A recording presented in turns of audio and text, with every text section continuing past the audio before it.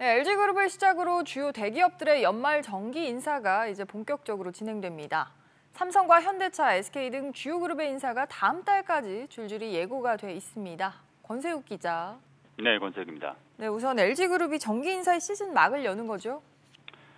네, 그렇습니다. 재계에 따르면 LG그룹은 이번 주 중후반에 주요 계열사 인사를 실시할 것으로 전해졌습니다. 지주사 CEO를 맡았던 권영수 부회장이 LG 에너지 솔루션 CEO로 옮겨서 연쇄 이동이 일어날 전망입니다. 특히 지주사 후임 CEO로는 권봉석 LG전자 사장, 정호영 LG 디스플레이 사장, 홍범식 LG 경영전략팀장 등이 거론되고 있습니다. 그렇군요. 삼성 쪽은 어떻습니까?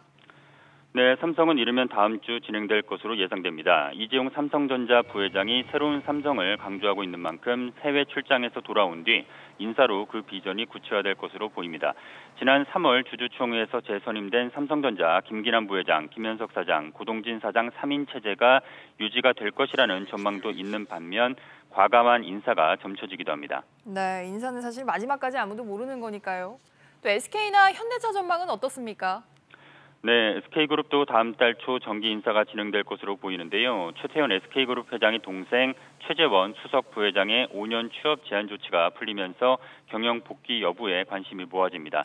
현대차그룹도 예년처럼 다음 달 중순쯤 인사를 할 것으로 보이는데요.